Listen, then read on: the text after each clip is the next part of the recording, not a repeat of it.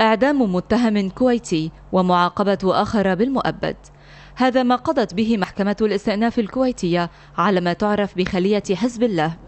مؤيدة بذلك حكم أول درجة فيما برأت بعض المتهمين وخففت الأحكام الصادرة على آخرين لتتفاوت عقوباتهم بين الغرامة والحبس خمس سنوات. أغلب اللي خذ 15 سنة قضي ببراءة لله الحمد والفضل والمنة. أغلب اللي كانوا ماخذين على حيازة سلاح بسيطة عدل الحكم من حبس إلى غرامات. برأ من تهمة التخابر اللي كانت هي جل الاتهامات وأيد في باقي التهم عن باقي المتهمين. وكانت أجهزة الأمن قد ألقت القبض على أفراد هذه الخلية في أغسطس الماضي ووجهت لهم النيابة تهم الانتماء لحزب الله اللبناني والتخابر مع إيران وحيازة أسلحة بقصد ارتكاب أعمال إرهابية في الكويت.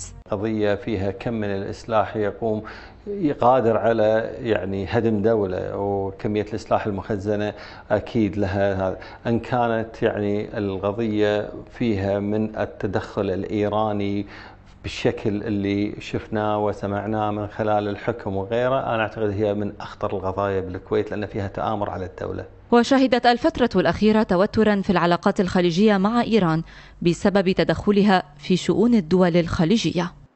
أحكام لا تزال غير نهائية في ملف خلية حزب الله التي تابع أدق تفاصيلها الشارع الكويتي لاعتبارها واحدة من أكثر القضايا تهديدا لأمن الكويت واستقرارها. سمر شديق الجزيرة. الكويت.